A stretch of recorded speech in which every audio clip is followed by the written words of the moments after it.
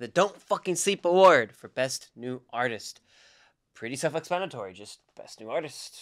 Yeah. Um, we have Fred again, Nova Twins, CMAT, Wet Leg, and Will Cherry. Um, All very good picks that we've gotten throughout the whole year.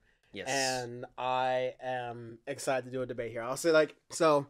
Fred again really been dominating. Um, you know, Fred again dot dot really been dominating EDM and providing these really visceral experiences with you know, electronic music really got big with millennials because of those like bliss points, those moments in the music that provide the most tension but also at the same time joy.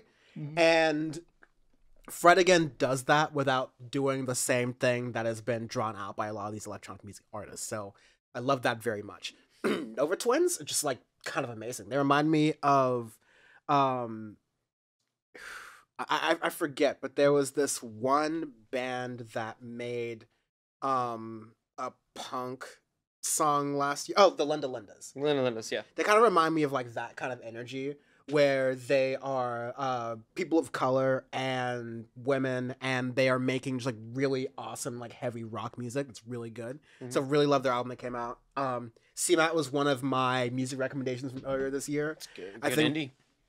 damn good indie. Uh wet leg as we mentioned just like damn damn good indie Mhm. and then will cherry was one of the uh fan picks that was submitted to us over Audioface that we really really liked just like such a really good rap album that I liked. And rap, neo pop, a little bit of electronic flair, like near the very end. Like, really, really good uh, stuff right there. So we got sent a lot of stuff. Don't fucking sleep award for best new artist. What will it be? uh, I'm torn between two.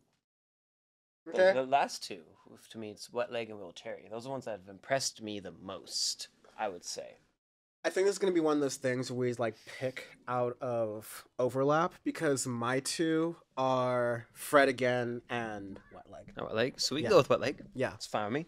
yeah. Let's it. And if we were, you know, coordinated enough to do dual runner ups, then we would.